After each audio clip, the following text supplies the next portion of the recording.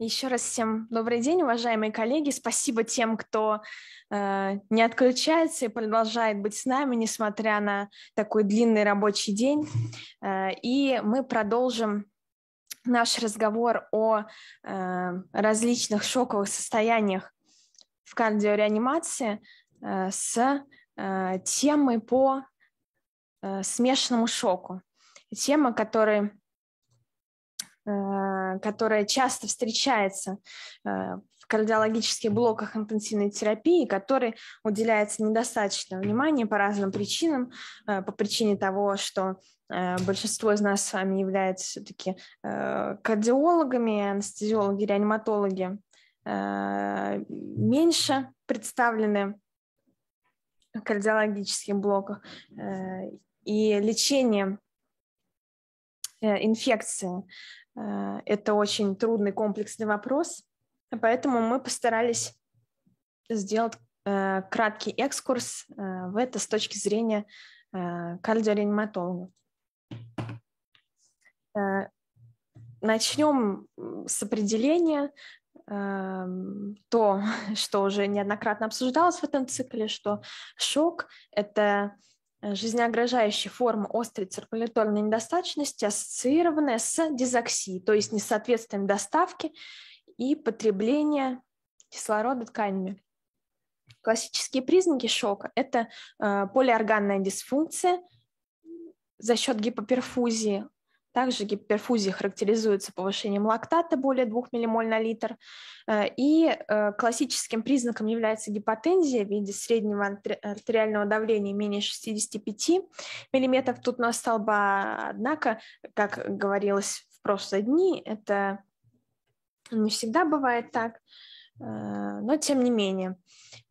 Поговорим о дизоксии, вспомним уравнение расчет доставки кислорода, от чего зависит доставка и за счет чего она может снижаться при шоке. За счет снижения сердечного выброса, за счет снижения концентрации гемоглобина и за счет э, снижения э, оксигенирующей способности легких, снижения сатурации артериальной крови, парциального напряжения кислорода. Э, также э, дизоксия может э, провоцироваться, усугубляться повышением потребности организма в кислороде, что возникает на фоне лихорадки, боли, дрожи, гипервентиляции, то есть всегда, когда организм избыточно расходует свою энергию. Также может быть все в порядке с доставкой и с потреблением кислорода, и критическим моментом э, может являться наличие митохондриальной дисфункции, э, которая нарушает утилизацию кислорода. То есть вроде бы кислорода и много, и вроде бы организму немного надо, но э, процессы могут быть нарушены на уровне дыхательного цикла, дыхательной цепи митохондрий, и это как раз та проблема, которая возникает при сепсисе и некоторых других состояниях. Э, в зависимости от э, преимущественного локуса э, неприятностей в организме, шоки делятся имеют классификацию. Могут быть проблемы преимущественно связаны с кровью и жидкостными компартментами. Такие шоки относятся к гиповолемическим. Может быть связан шок преимущественно с сосудистой системой, периферическим руслом. Такие шоки называются дистрибутивными, когда происходит перераспределение жидкости э, на периферии. Также шоки, связанные с сердцем, называются кардиогенными, э, и э, шоки, связанные с циркуляторной системой рядом рядом сердца, но не совсем к ним относящиеся, э, такие как прителла, при тампонаде, относятся к обструктивным, но нам больше нравится э, обструктивный считать видом кардиогенного, поэтому вот так вот выглядит финальная классификация. Э, в эм, некардиологическом, классическом блоке интенсивной терапии септический шок занимает самое частое э, самое большое место. Гиповолемический кардиогенный шок примерно по 16% составляет. Э, обструктивный и несептический дистрибутивный встречается достаточно редко. Сепсис – это э, большая проблема 21 века и особенности, в том числе связанные с пандемией COVID-19. Э, что касается кардиогенного шока, к которому мы привыкли, э, все также не так э, просто. Еще в 1999 году при публикации данных исследования шок эм, было замечено, что среди всех пациентов с кардиогенным шоком 18% имеют э, нехарактерный гемодинамический паттерн. Обычно кардиогенный шок связан с повышением общего системного сосудистого сопротивления, а у практически одной пятой всех пациентов имелась э, нетипичная для кардиогенного шока вазодилатация, то есть дистрибутивный компонент шока. При этом из, среди них у 26% пациентов э, этот дистрибутивный компонент не был связан с инфекцией, а у остальных 74 он, соответственно, был связан с инфекцией. Э, и Далее, при подробном изучении выяснилось, что кардиогенный шок представляет собой целый спектр состояний, и при этом вот такой вазодилататорный кардиогенный шок встречается э, очень даже нередко. Э, но это было в 1999 году. Что же происходит 20 э, лет спустя? Также смешанный шок а, когда мы говорим о смешанном шоке, то чаще всего речь идет о смеси кардиогенного и дистрибутивного, если дистрибутивный, то в большинстве случаев септический, встречается также у 15-20% пациентов, и здесь представлены данные именно про кардиологические блоки интенсивной терапии. А, как же выглядит типичный смешанный шок в кардиоблоке? Здесь речь а, на этом слайде не идет об общем патогенезе, а о таком классическом клиническом примере. Поступает пациент с инфарктом миокарда, поздние сроки без реваскуляризации, состояние кардиогенного шока. Кардиогенный шок характеризуется э, гипоперфузией э, спланхнической зоны, за счет чего может возникать э, транслокация кишечной флоры и э, септическое состояние, что может приводить к дистрибузации э, шока у данного пациента. Также может быть несептический синдром системно-воспалительной реакции. Э, кроме того, у пациента э, с кардиогенным шоке, с нарушенным всасыванием лекарственных препаратов, с нарушенной функцией печени, почек. Такому пациенту также даются антиагреганты, антикоагулянты по основному состоянию. Может развиться кровотечение. И их частота, э, например, в исследовании Calprit-шок составляет также около 1 пятой. Э, оба этих дополнительных компонента, гиповолемический и дистрибутивный, ухудшают Э, ишемию миокарда, усугубляет коронарную перфузию, таким образом замыкая порочный круг.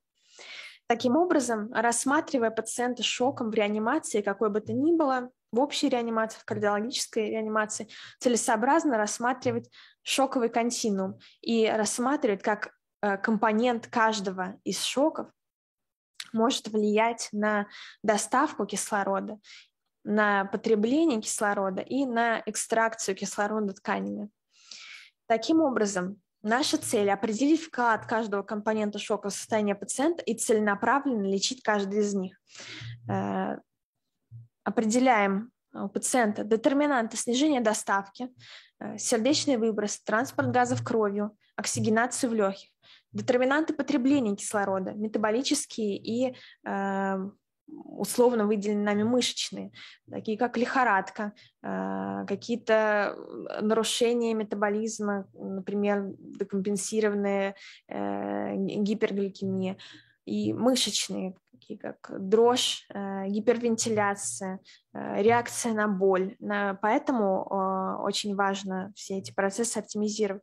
И также подозреваем у пациента инфекцию, сепсис как фактор, э, приводящий потенциально к митохондриальной дисфункции, нарушению экстракции кислорода. С нашей точки зрения мы видим примерно такой алгоритм ведения пациента шоком кардиоблоке. Первым делом нам необходимо максимально э, оценить и скорректировать доставку кислорода. Мы выявляем наиболее измененный Э, компонент доставки. Эм, и при этом руководствуясь э, возможностями скорости определения. Например, гемоглобин может прийти не сразу, мы занимаемся вот этими двумя э, и так далее. И корректируем их, собственно, в порядке, в порядке изменений. Наиболее измененный сниженный уровень гемоглобина, анемия, корректируем Э, это гемотрансфузии, ищем источник кровотечения. Проблемы с оксигенацией, восстанавливаем проходимость дыхательных путей, выбираем подходящую ступень респираторной поддержки для конкретного пациента, ищем и корректируем причины.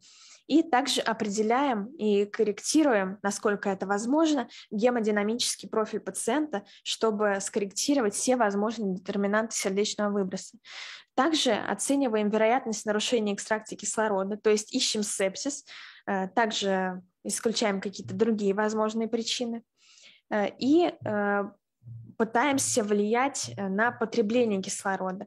Это управление температурой и дрожью, что в контексте Э, аппаратной целенаправленной терморегуляции мы можем осуществлять, например, у пациентов э, после основного кровообращения. Э, возможно, также пациент, который гипервентилирует и тратит на это собственную энергию, необходимо у такого пациента проводить интубации трахеи контролируемой вентиляции, чтобы снизить затраты организма на, на частоту дыхания 50. И также корректируем Э, метаболизм по возможности. Эм, и мы поговорим преимущественно о вот этих двух компонентах далее в нашей лекции. Э, снова, снова слайд по сердечному выбросу.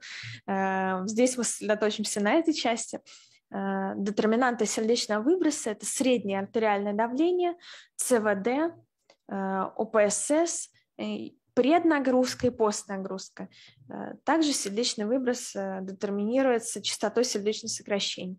И практически на все эти моменты мы можем так или иначе влиять. Гемодинамические профили шоков э, в принципе, имеют какие-то свои характерные особенности, отличия. Э, например, э, для э, гиповолемического шока характерно повышение ОПСС и снижение всех параметров, показывающих преднагрузку. В то же время пациента часто трудно отнести э, в отдельную коробочку с названием гиповолемический шок, кардиогенный шок, септический шок. И поэтому мы с вами говорим о септическом шоке и говорим о гемодинамических профилях кардиогенного шока. И также вот мы видим, что в разные фазы, например, септического шока будет совершенно разный гемодинамический профиль. Как же мы это можем оценить? Э, в первую очередь мы, собственно, производим количественную оценку сердечного выброса, э, сердечного индекса э, и удального объема. Э, какой метод нам сподручнее, какой метод подходящий для данного пациента, такое применяем. У нас есть в арсенале ЭХКГ и как минимум два инвазивных э, метода контроля гемодинамики. Далее мы оцениваем, насколько этот сердечный выброс э, подходит для данного пациента, какая происходит экстракция кислорода тканей, и для этого нам помогает метаболический мониторинг, о чем мы сейчас в ближайшее время поговорим. И далее мы оцениваем все детерминанты сердечного выброса. У нас есть его количественная оценка, но почему он изменен? Для этого мы оцениваем сократимость структуры сердца. Здесь э, эхокардиография прикроватная, экспертная, какая есть. Э, тут эхокардиографии нет альтернатив. Оцениваем преднагрузку отдельно на левые и на правые отделы различными методами, какие доступны, какие возможны. Оцениваем волемический статус, э, опять-таки три группы методов, статические, динамические и волемические пробы. И оцениваем постнагрузку, можно также инвазивно и неинвазивно. Э, если говорить о клинических рекомендациях по диагностике шока, то здесь мы видим э, снова серийное измерение лактата, метаболический мониторинг, ЭХКГ и эм, инвазивные методы с, различными уровнями э, рекомендаций, классом доказательств. какое место имеет в диагностике шока метаболический мониторинг? Когда мы говорим метаболический мониторинг, в основном мы имеем в виду несколько параметров лактата, о котором э, мы уже много говорили, э, и э, такие параметры, как сатурация смешанной венозной крови и э, веноартериальная разница парциального напряжения СО2.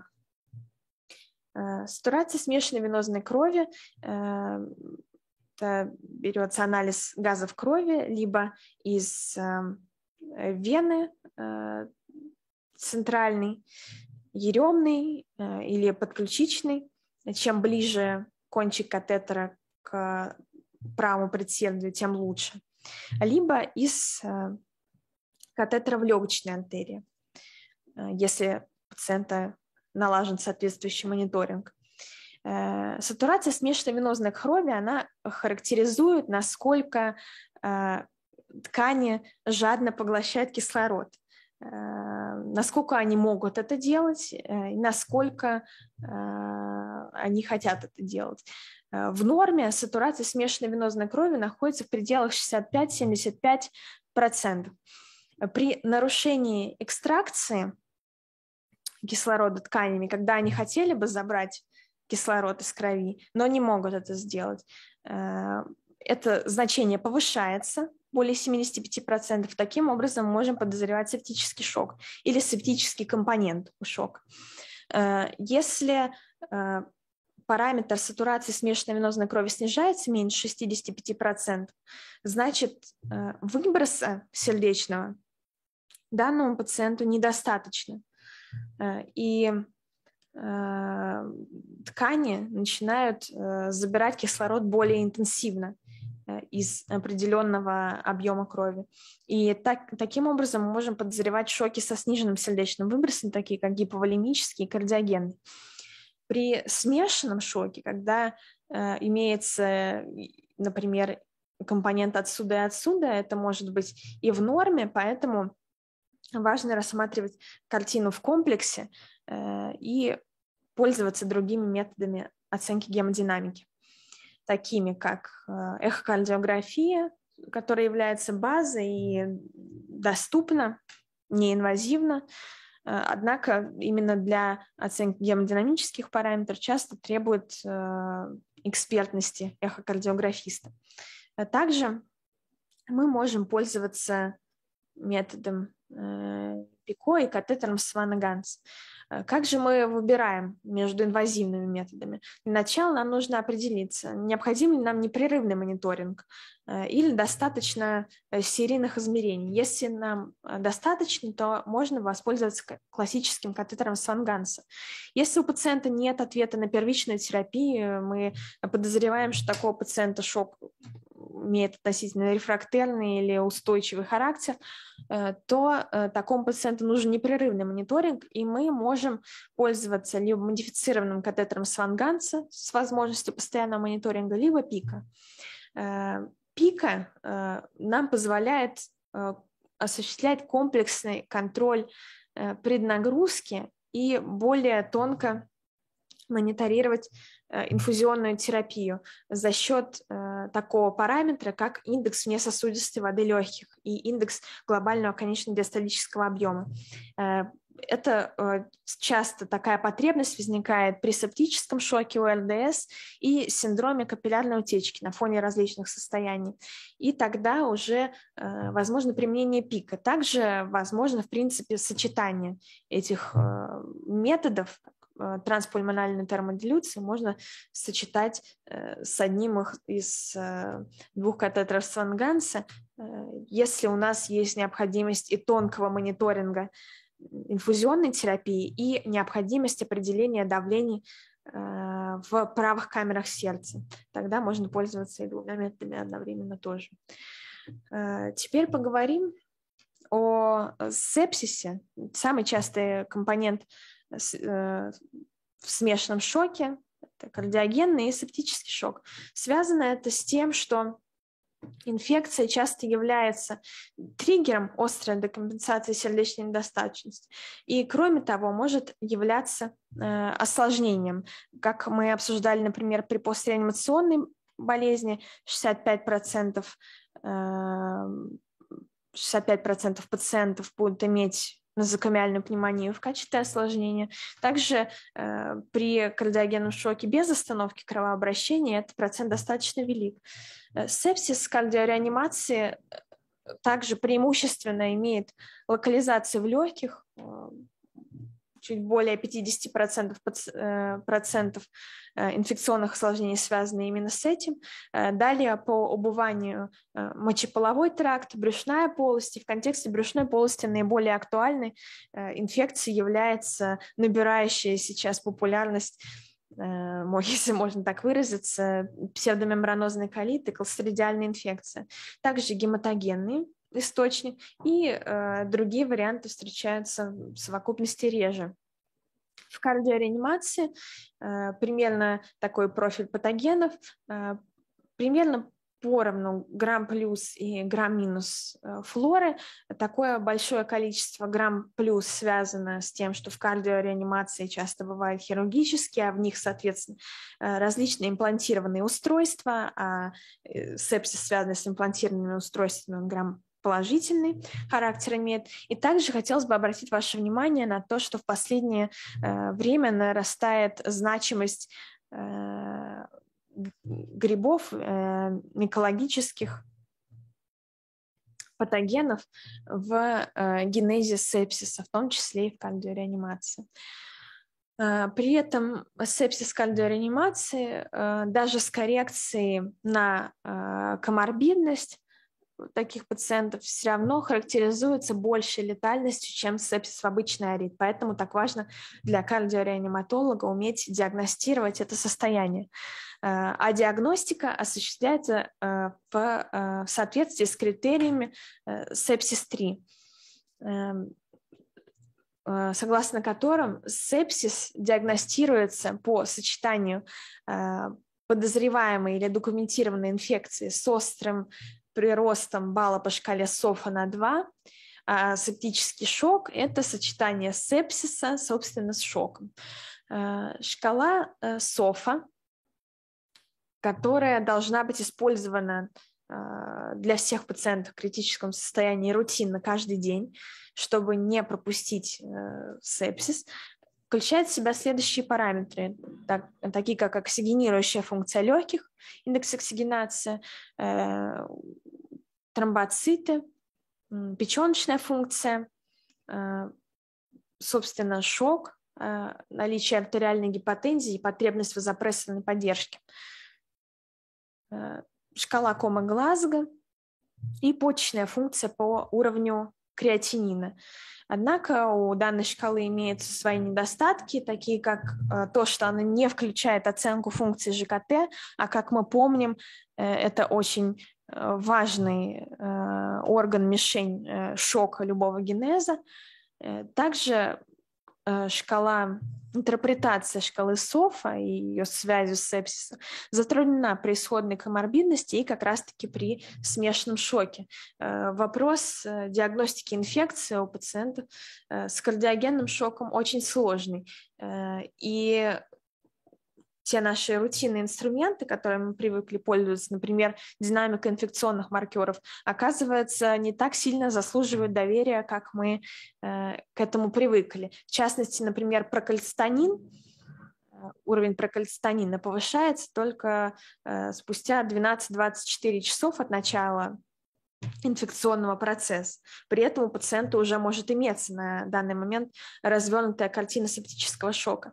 А что касается более доступного маркера бел, э, цереактивного белка, то тут динамика еще хуже, и э, отчетливое повышение можем ожидать только через сутки от начала инфекционного процесса, вплоть и так далее. Э, поэтому э, рекомендации по диагностике и лечению сепсиса Surviving Sepsis Campaign 2021 года э, рекомендует не использовать прокальцитонин, как другие э, как и другие инфекционные маркеры, для принятия решения о старте э, антимикробной терапии. В основном тут мы возвращаемся к необходимости полагаться на э, клиническую картину, клиническое чутье, э, определяя симптомы различных инфекционных локусов. Терапия септического шока строится на трех китах. Это антимикробная терапия, стабилизация гемодинамики и коррекция полиорганной недостаточности. Э, антимикробная терапия – это самый главный кит и э, краеугольный камень. И э, в кардиореанимации, когда клиническая картина часто бывает смазана, важно вовремя диагностировать инфекционный процесс сепсис и начать вовремя соответствующее лечение, потому что задержка лечения более часа при септическом шоке достоверно увеличивает летальность у таких пациентов. При этом до назначения любого антимикробного препарата должны быть взяты посевы всех доступных сред, э, кровь, э, аспират э, из трахеи или мокроты, если пациент не интубирован, и моча – это минимальный набор. Должна быть назначена в течение часа антимикробная терапия, и ее назначение должно производиться в связи, в соответствии э, с рядом э, факторов. Э, фактор, э, который во многих местах бывает затруднение э, в его понимании, это локальный профиль патогенов. Очень важно знать, какие конкретные микробы, какая, какая, с какой резистентностью находятся именно в вашем стационаре, в вашей реанимации, чтобы осуществлять соответствующую антимикробную поддержку. Ни одни международные клинические рекомендации не дают точных э, э, точных регламентов, какой препарат нужно назначать при какой инфекции. Эм, и применение рекомендаций международных, э, европейских, американских для нашей страны э, совершенно неправомочно, поскольку у нас э, свой профиль патогенов. Поэтому очень важно дружить с лабораторией бактериологической и вести учет, вести учет патогенов, которые у вас живут. Также, эм, если мы знаем уже, какие бактерии живут, для того, чтобы выбрать оптимальный антибиотик, нужно понимать фармакокинетические, фармакодинамические э, их параметры. Например, мы лечим почечную инфекцию, мы должны э, давать антибиотик, который будет хорошо проникать э, в почечную ткань. Также и с легкими. Также нужно понимать, длительность э, инфузии, кратность, э, дозировка. И э, поскольку такие пациенты, их невозможно свести к одному какому-то шаблону, то очень важно индивидуализированно подходить именно исходя из вот таких фармакологических особенностей каждого антимикробного препарата. Также концепция подбора антибактериальной терапии по локусу инфекции сейчас считается достаточно устаревшей, если речь не идет о фармакодинамических, фармакокинетических особенностях. Э, сейчас на первую роль э, вышли факторы риска э, инфекции, ассоциированные с тремя проблемными группами микроорганизмов. Полирезистентные Э, грамм-минус микроорганизмы, метицилин-резистентный стафилококк и э, грибы. Э, по возможности должна производиться санация очага инфекции, если речь идет о каком-то абсцессе, гангрене, диабетической стопе и так далее. И также назначенная таким образом эмпирическая антибактериальная терапия должна как можно более ранней деэскалации подвергаться по получению результатов бактериологического анализа, который мы взяли самым первым пунктом. Эм, какие же факторы риска проблемных микроорганизмов э, детерминируются э, последними рекомендациями по лечению сепсиса? Риск полиорезистентных грамм-минус – бактерий эм, связан с инфекцией, колонизацией такими микробами в течение предшествующего года. Э, также при внутрибольничном характере инфекции, нозокомиальной инфекции, если мы знаем, что у нас локально в нашем именно отделении имеется такая флора назначение антибиотиков широкого спектра в течение предшествующих 90 дней и проведение селективной деконтаминации кишечника по какому-либо показанию. Э, наличие соответствующего риска детерминирует назначение двух эмпирических грамминус направленных антибактериальных препаратов. Отсутствие таких факторов риска позволяет ограничиться только э, одним грамминус антибактериальным препаратом. Также мы оцениваем риск метиленрезистентного стафилококка. Также оцениваем инфекцию колонизацию МРСА в анамнезе. Э, недавнее введение внутривенных антибиотиков, кожные инфекции, хронические раны а, у пациентов с атеросклерозом нижних конечностей, с хронической э, хроническими венозными отеками ног. Это очень частая ситуация.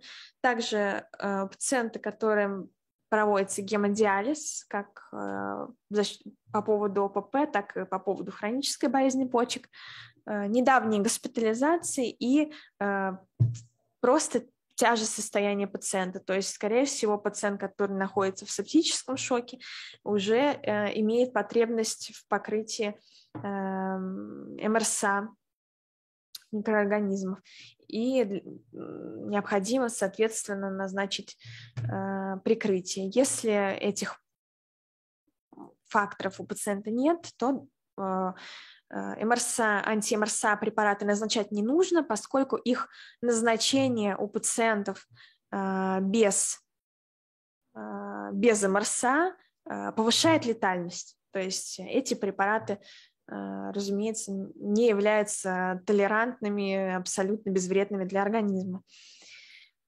И оцениваем риск грибов. Э, здесь мы привели кандиду как самый частый, там для разных грибов разные риски. Э, риск инфек... кандидо-ассоциированной инфекции – это когда у пациента кандида высевается в нескольких локусах.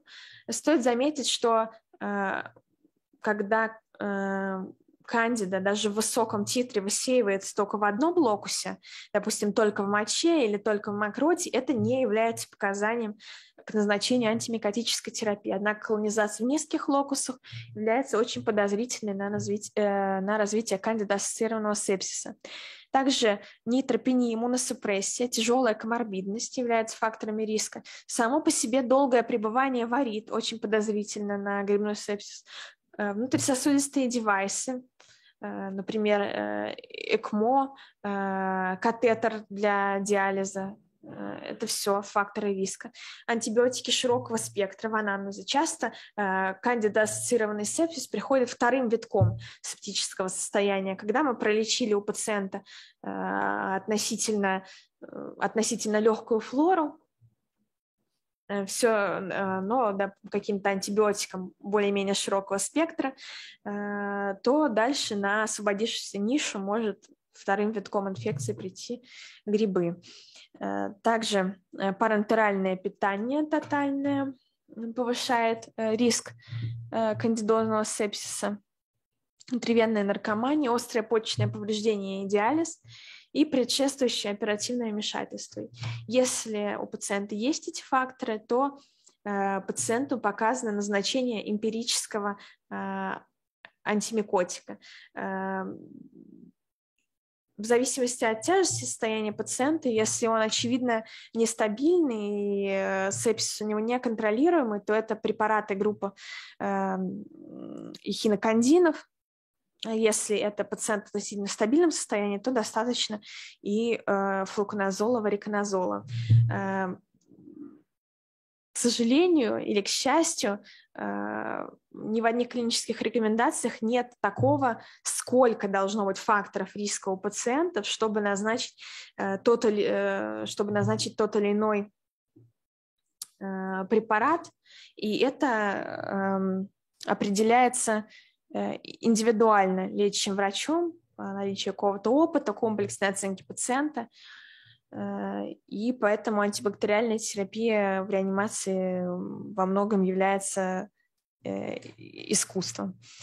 Стабилизация гемодинамики при септическом шоке когда мы обсуждали с вами э, постреанимационную болезнь, то мы неоднократно говорили, что э, постреанимационный шок во многом похож на септический, поэтому здесь мы будем частично повторяться. А септический шок, соответственно, характеризуется э, вазодилатацией, дистрибутивным компонентом, часто с синдромом капиллярного лика и гиповолемической гипергидратации. Наша цель – это оптимизировать волемический статус, сосудистый тонус и обеспечить нормальную сократимость миокарда, поскольку мы тут о смешанном шоке говорим, то это очень важно. И э, после того, как мы всего этого добьемся, мы смотрим на результат нашего лечения по клиренсу лактата. И, как ни странно, такой простой э, клинический параметр, как время капиллярного наполнения, э, просто оцениваемый, э, входит в рекомендации по лечению сепсиса. Тоже нормализация времени капиллярного наполнения менее двух секунд – это один из таких простых маркеров. И методы у нас для этого, собственно, классическая инфузионная терапия, диуретики, ультрафильтрация, вазопрессоры и натропы. Инфузионная терапия при асептическом шоке, если мы говорим о э, применяемых растворах, э, то это преимущественно кристаллоиды. Э, при этом сбалансированные кристаллоиды лучше, э, чем физиологический раствор. У этого есть много причин, об этом во многом будет сказано на лекции по инфузионной терапии, которая будет в пятницу. А, одна из этих причин, то, что pH физиологического раствора 5,5, на самом деле он гиперосмолярный, также способствует повышению риска э, гиперхлоремического ацидоза, поэтому у таких пациентов, которые требуют э, очень объемные инфузии э, часто, лучше использовать сбалансированные растворы.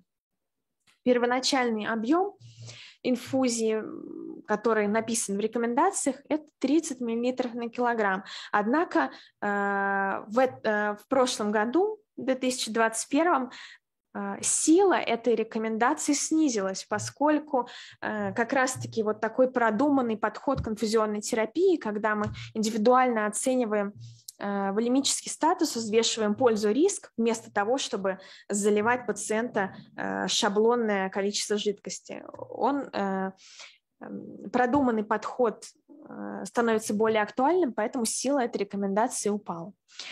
Она нужна только для прикидки, и для пациентов со смешанным шоком она вообще вызывает очень сильные вопросы, и, естественно, инфузионная терапия требует мониторинга.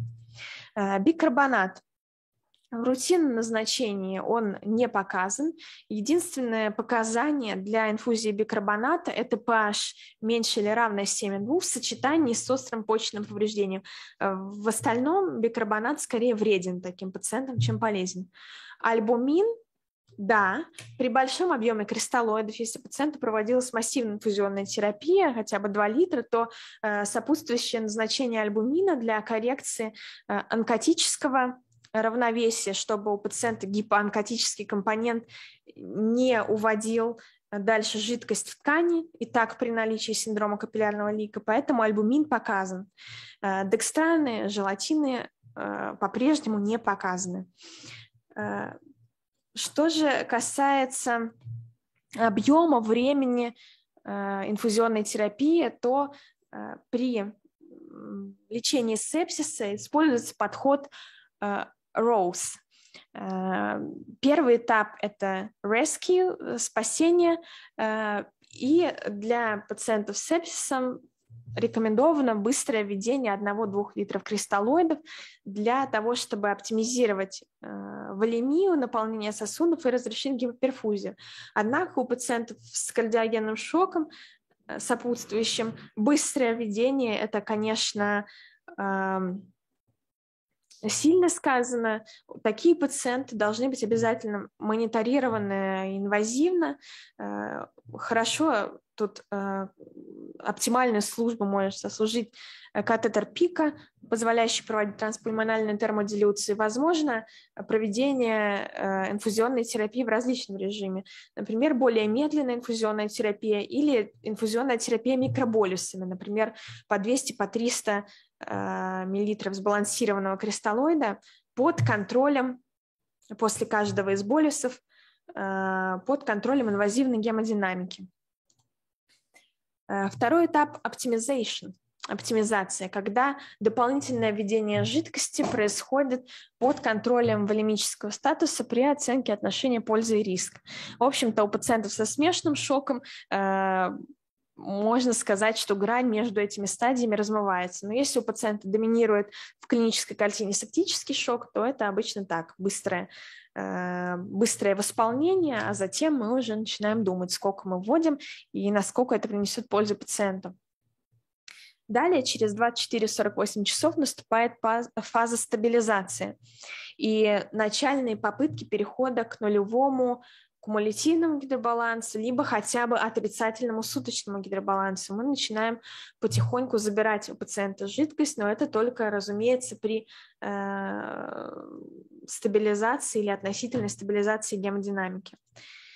И последний этап Э, de-escalation, escape, э, снижение инфузионной нагрузки, это уже после разрешения у пациента явления шока полного и тенденции к разрешению полиорганной недостаточности идет стратегия агрессивного убирания жидкости.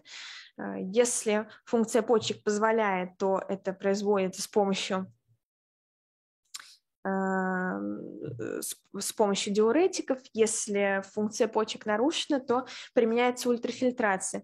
Э, стоит помнить то, что кумулятивный гидробаланс за, за госпитализацию положительный достоверно приводит Э, к увеличению летальности, и чем дольше пациент будет в таком в критически превышенном кумулятивном гидробалансе, э, тем э, больше риск неблагоприятного исхода. Поэтому важно стараться рано начинать брать жидкость из пациента, а затем, когда пациент уже достаточно стабильный, очень агрессивно и быстро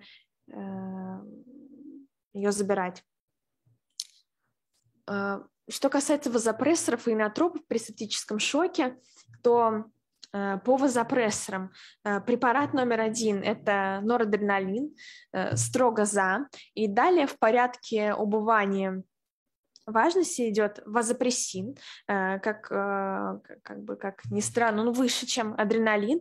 И в рекомендациях декларировано, что чем э, проводить э, запредельные дозы норадреналина, лучше проводить двухкомпонентную вазопрессорную поддержку норадреналин плюс вазопрессин. Э, в гайдах указана цифра более 0,1 микрограмм на килограмм в минуту норадреналина, после которой уже рекомендуется добавление вазопрессина. Однако этот препарат не у всех есть наличие, например, у нас его тоже нет, поэтому препарат третьей линии, в рекомендациях он Э, детерминирован в, в добавление к первым двум, если они неэффективны, э, то адреналин. В нашей российской практике часто после норадреналина идет адреналин. Э, нет вазопрессина, может быть, есть стерлипрессин, но нет, это, к сожалению, не одно и то же, и рекомендации против этого препарата. Инотропная поддержка, добутамин, да, э, левосеминдан скорее нет. Но это э, рекомендации, касаемые сепсиса, преимущественно и септического шока. И левосеминдан у таких пациентов не рекомендован в связи со своим выраженным инодиляторным эффектом. Что касается смешанного шока, когда у пациента большой вклад вносит миокардиальная дисфункция, то здесь левосеминдан под под пристальным контролем инвазивной гемодинамики может быть использован а, в том числе как мост к стабилизации пациента. Поэтому а, что касается нашего кардиологического блока интенсивной терапии, э, это вполне себе возможный вариант. Также дополнительные рекомендации – это при продолжающейся потребности в вазопрессорах показано Э, глюкокортикостероиды. Лучше всего глюкокортикостероиды с наиболее выраженной минерал-кортикоидной активностью. То есть это гидрокортизон, если его нет, э, то э, преднизолон. Поскольку связана эта рекомендация с тем, что при сепсисе и любом рефрактерном шоке Э, часто у пациентов имеет место в патогенезе совокупный гормональный стресс и относительная надпочечниковая недостаточность, поэтому у, у ряда пациентов э, эти препараты могут иметь положительный эффект. Так же, как и при любом критическом состоянии показано профилактика стресс-яз ЖКТ и э, тромбоза глубоких вен, причем э, низкомолекулярные гепарины для профилактики лучше, чем нефракционированные. Однако, э, учитывая э, наличие у таких пациентов э, часто сопутствующей почечной дисфункции и почечного повреждения, иногда от нефракционированного гепарина не уйти, но если почечная функция позволяет, то лучше применять низкомолекулярные гепарины. Э, и важно не забывать э, про питание в течение 72 часов у пациентов, которые могут переносить, питание у которых нет эм, гастропареза, абдоминального компактного синдрома и прочих проблем, э, показано начало интервального питания. Сначала в трофическом режиме, а затем по мере стабилизации уже и полно, полнокалорийное питание. Э, подведем итоги. Э, кардиогенный шок – это спектр состояний, и дистрибутивные гиповолемические э, компоненты, частые гости в кардиологическом арит. Необходимо прицельно исследовать отдельно все компоненты дизоксии, целенаправленно лечить каждый из них.